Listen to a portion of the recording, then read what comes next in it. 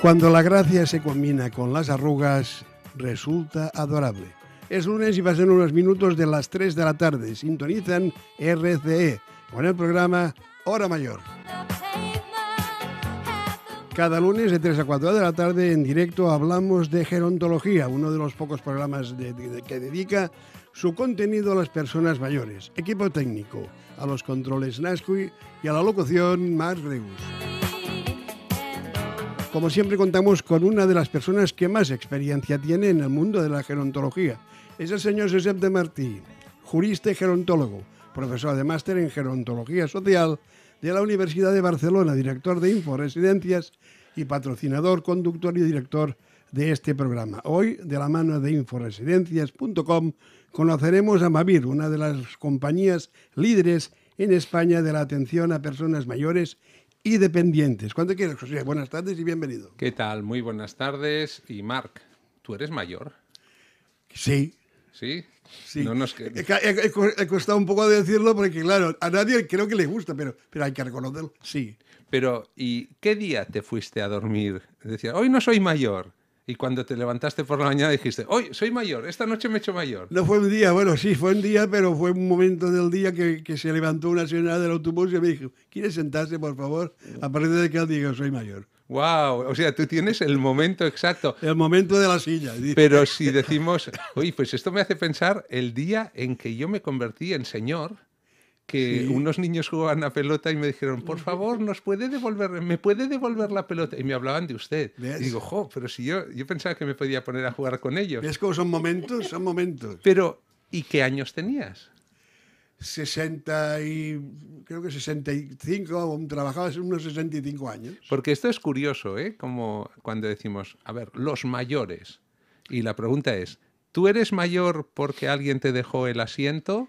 ¿O eres mayor porque hay una fecha mágica en la que alguien te dice, oye, pues ahora, porque tienes esta edad, eres mayor? No sé si lo has pensado alguna vez. Lo he pensado y la verdad es que yo no me sé que soy mayor, pero no me considero mayor. Y el espíritu, como no envejece, Mm. pues yo me siento igual con las ganas de hacer coña, porque siempre me ha gustado hacer coña. y Doy paso- fe.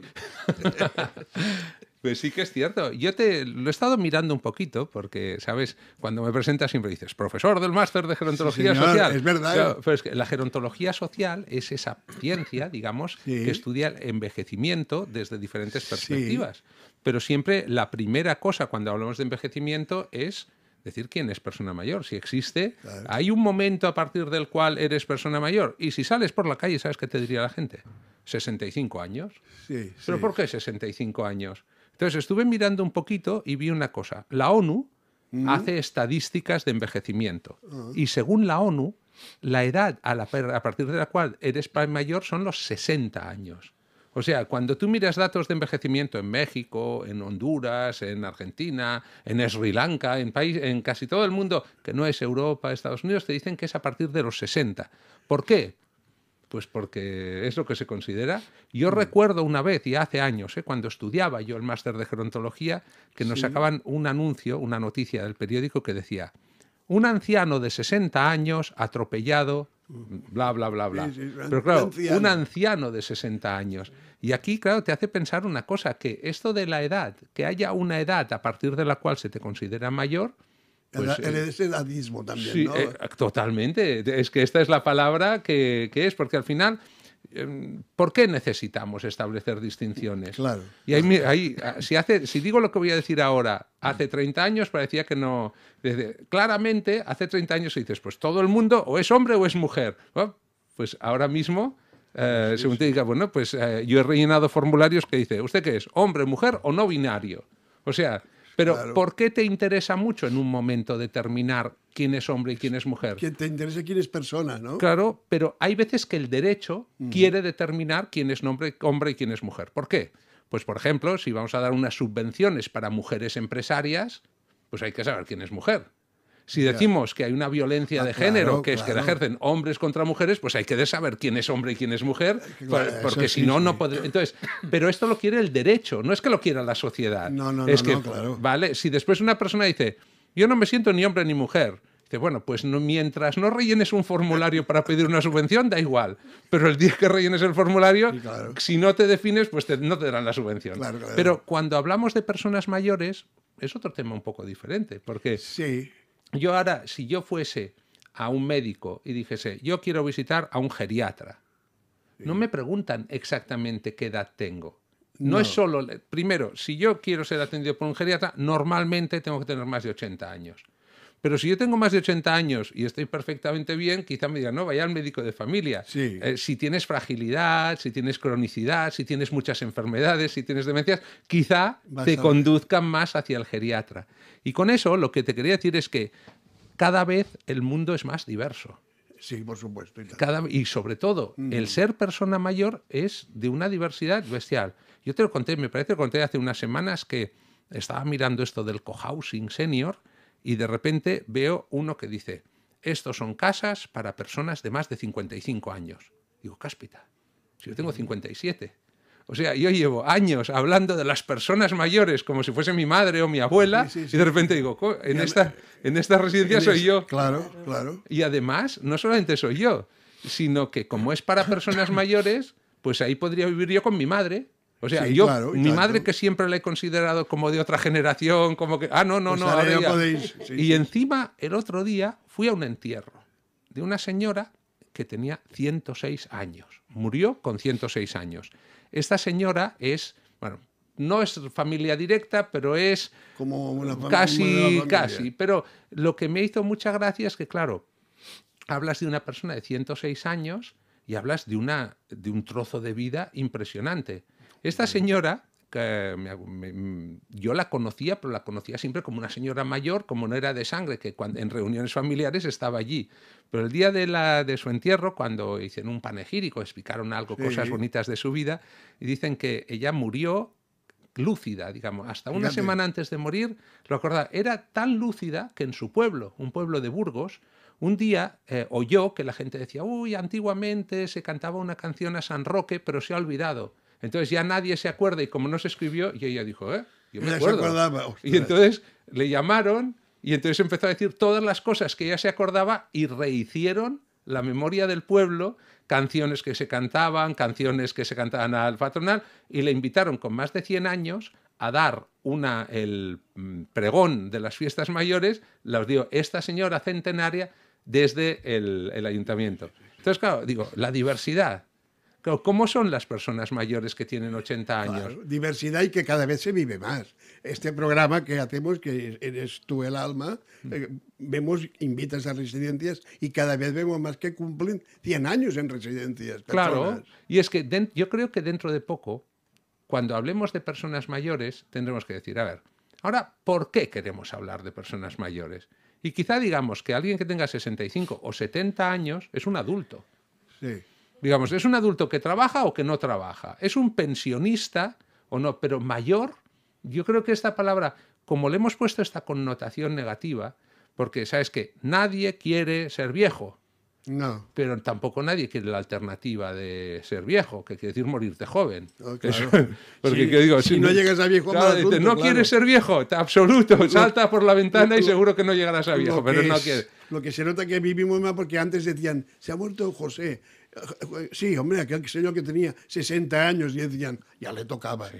Ahora todo eso ya se ha acabado, afortunadamente. Mira, yo ahora estas navidades me he releído un libro que me lo leo de vez en cuando para preparar clases y tal. Es un libro de Tolstoy que se llama La muerte de Ivan Illich. Y entonces es una historia de un señor ruso que, bueno, vive una vida acomodada, como todo el mundo espera que viva. Se casa con una mujer a la que tampoco quiere mucho, pero dice, bueno, eh, bueno, es lo Eh, que estoy toca, acompañado, es lo que mira. toca, tal. Pero un día eh, se cae de una escalera en su casa mientras está haciendo una cosa de la decoración, se da un golpe y al cabo de unos meses muere. Entonces, el libro se concentra en cuál es su proceso de muerte. Entonces, entonces empieza a decir que él va a su trabajo, que es juez en, una, en, un, en un juzgado. Dice que la gente ya, cuando él empieza a encontrarse peor, dice, yo veo que ya están mirando a ver quién me va a sustituir. Y están hablando de tal. Y entonces Esperando. esperando a ver qué me pasa. Y entonces va hablando de su dolor y de cómo ah, el libro es, es una novela, ¿eh? no es una historia personal. Dice, pero cómo a la gente le molesta que hables de tu dolor.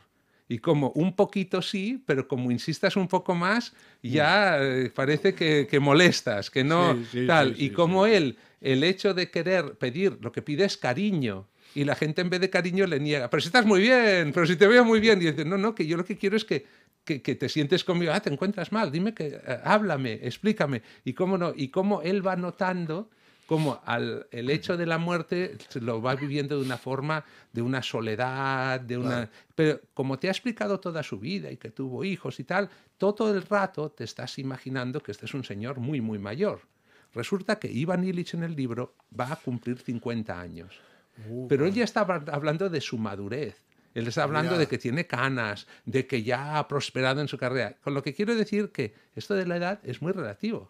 No hay una cosa absoluta. Y lo que antes una persona de mi edad, de 57 años, yo hace ciento y pico años, pues para empezar, me parece que me quedarían dos muelas. Sí, sí. Y quizá me quedaría solamente un diente delante. Sí, Oye, estaría hablando un poquito así, ¿qué tal? Y si te morías, pues decía, María le tocaba, ya, claro, ya tenía su edad. A los 50 años, a los 57 años, en casi toda la historia, ya dicho, vivía una larga vida y tal. Ahora mismo también pasaría una cosa hace 150 años. Salvo que fuese de un, de un grupo muy acomodado, no tendría gafas. Ahora me quito un ah, momentito las gafas y entonces siempre estaría con los ojos así, sin poder ver cosas cercanas, el hecho de no poder masticar bien, lo más seguro es que me haría comer cosas menos nutritivas, estaría comiendo gachas y, mm. papillas y tal, con lo cual no estaría comiendo mucha, con lo cual envejecería más. entonces, a lo que voy es que nosotros no solamente estamos viviendo más años, sino que estamos viviendo más años mejor. Mejor calidad de vida. Con lo cual, eh, ¿sabéis la clave que dice las Naciones Unidas? Dice, eh, la medicina ha conseguido dar más años a la vida. Ahora de lo que se trata es dar más vida a los años. Y con eso vamos acabando. Yo sí que quería decirte una cosa. Em, ¿Dónde se vive mejor? ¿Dónde podemos aprender a envejecer bien? Porque todos de vez en cuando conocemos a esa persona que conocí, que a mí me encantaría, 106 años, y además no te he dicho el final. Eh, su familia dijo, pues un día dijo, no me encuentro bien, y se apagó como una vela en una semana. Ni sufrió, ni hizo sufrir, no, ni nada. y entonces dices, jo, es que si todos llegásemos, si todos llegásemos a 106 años, la seguridad social tendría un problema. Oh, grave, ya, lo tiene ahora, pues imagínate. Pero yo te digo, yo quiero llegar, ¿eh? o sea, que el problema que sea.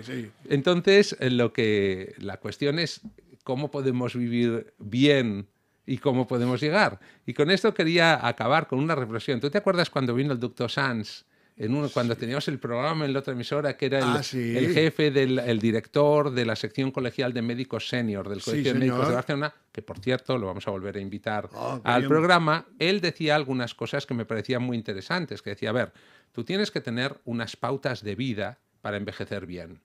¿Cuáles son esas pautas de vida?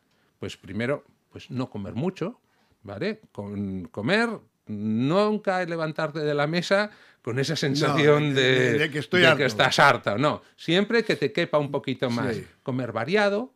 Sí puede ser reducir a medida que te vas haciendo mayor la carne roja, la carne y sustituirla por pescado y por más legumbres, más verduras. O sea, comer sano. Esto no hay. Mm. Comer la dieta mediterránea con un poquito de aceite de oliva. Si tomas vino, un vasito un vasito, ¿eh? no un vaso, vaso, no. Un vasito de vez en cuando te, eh, te Para ayudar a la digestión. O sea, comer Después, ejercicio. ¿Qué ejercicio? dicen, ese ejercicio que casi, casi llega a cambiarte la respiración. ¿Sabes que si te pones a subir escaleras llega un momento que cambia?